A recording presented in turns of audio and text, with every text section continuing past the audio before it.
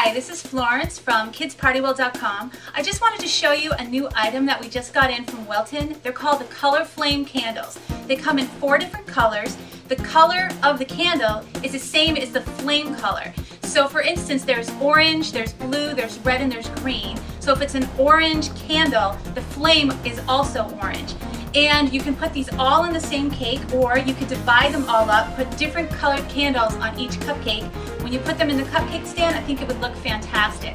So for your next birthday party, you try out these colored flame candles. I think you'll be very surprised and I think your birthday child will love it. So thanks again. See you next time from KidsPartyWorld.com.